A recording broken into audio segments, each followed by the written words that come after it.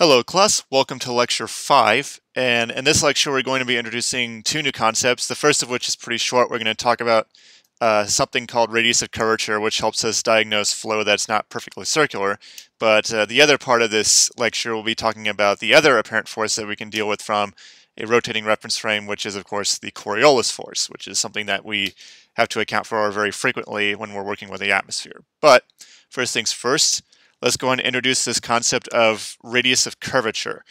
So if you look at any atmospheric flow pattern, you'll know that some of the flow patterns aren't perfectly circular. In fact, the vast majority of flow patterns aren't perfectly circular. So that then raises the question, how do we diagnose those flow patterns that are curved but not perfectly circular? And that's where the concept of radius of curvature comes into play.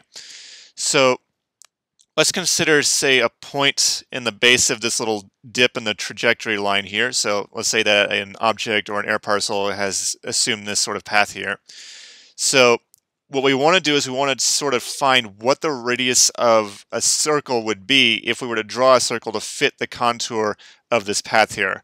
So the idea is we pick a point along the path, we draw a circle to fit the curvature of the path, and then the resulting circle that we get will be the radius that we plug into our centrifugal force. So this allows us to diagnose the centrifugal force that we get from a flow pattern that is curved but not in a not traveling in a perfect circle. So this green circle right here represents a relatively large radius of curvature, which uh, radius of curvature, if it's really large, that means your flow pattern is less curved.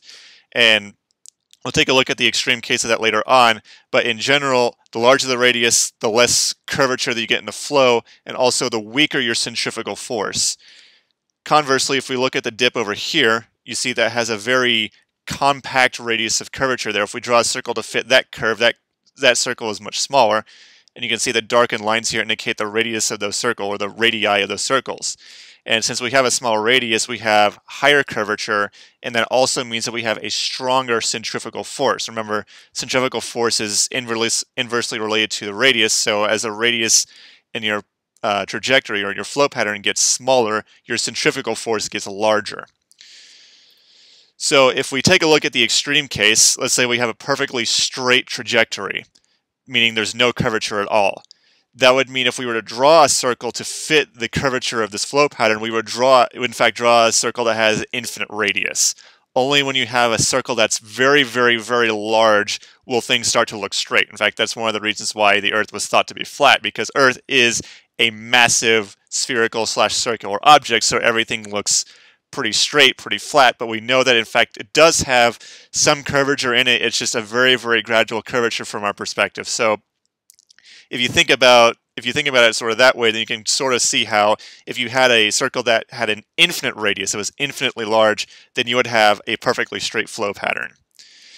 And again, if we remind ourselves what the equation for centripetal or centrifugal acceleration is, if we have a uh, if we have a circle that has an infinitely large radius, again, meaning we have a straight path here, if we have a straight path, then we don't expect there to be any centrifugal force, since centrifugal force requires there to be some curvature in the flow pattern.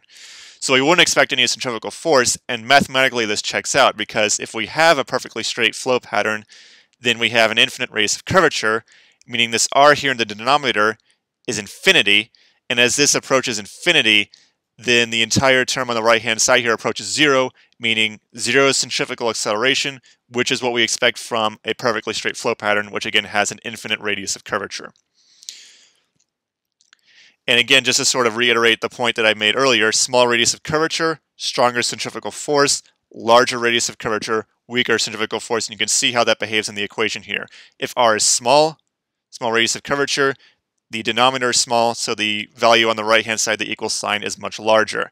Versus if you have a large radius of curvature, meaning the denominator here is large, so this quantity on the right-hand side is small, and that will therefore give you a weaker centrifugal force.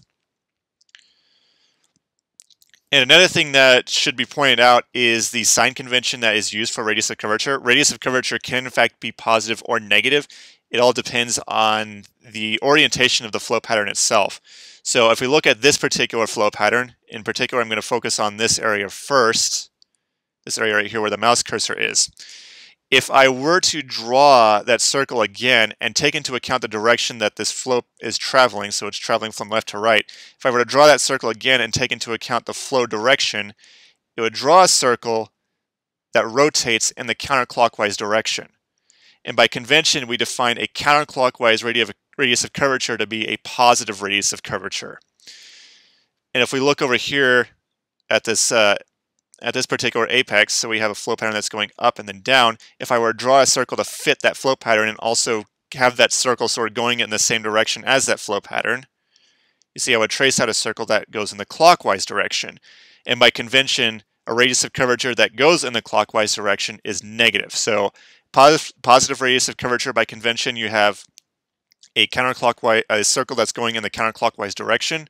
Again, the whole idea behind this is to draw a circle that fits and represents the flow pattern. So if I have a flow pattern that's looking like this, if I wanted to draw the circle out, the flow pattern would want to go in the counterclockwise direction if I actually completed the circle here.